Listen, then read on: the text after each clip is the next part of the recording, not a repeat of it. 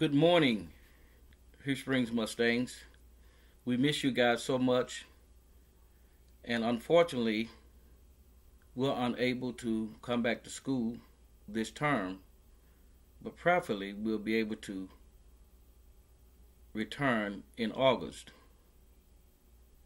So, with that in mind, I want to leave you with the school spirit, and I want you to join me in singing our school's alma mater.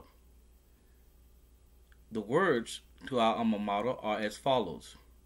Hail to thee, our Hughes Springs High School, highest praise to thee.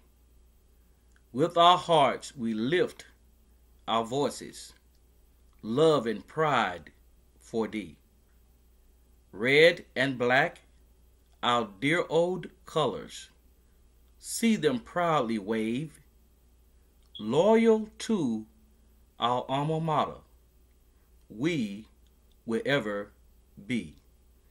Will you join me in singing our alma mater?